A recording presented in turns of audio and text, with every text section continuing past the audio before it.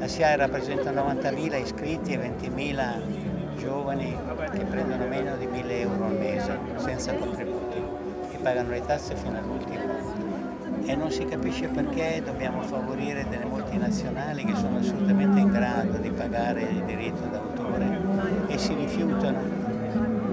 E armati di lobby, io sono stato a Strasburgo e mi hanno parlato i parlamentari potentissimi che fanno pressioni di tutti i tipi, comprese minacce, adesso non so se è vero però hanno detto così.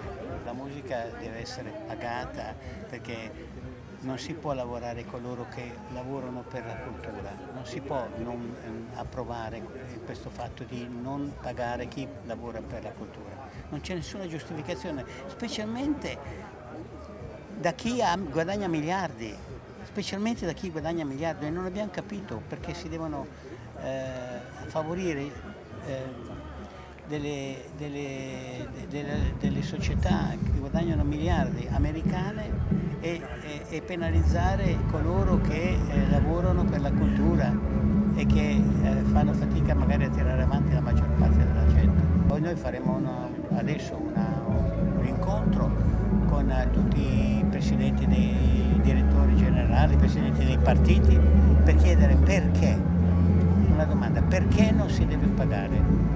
Cioè, se parliamo di libertà stiamo usando la parola, una parola sacra a sproposito, perché non è che devono la libertà di chi?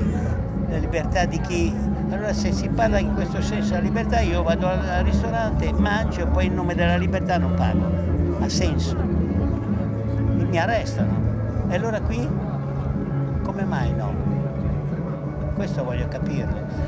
Mi batterò con tutte le forze per portare avanti questo discorso, insieme a tutti coloro che ci credono chiaramente.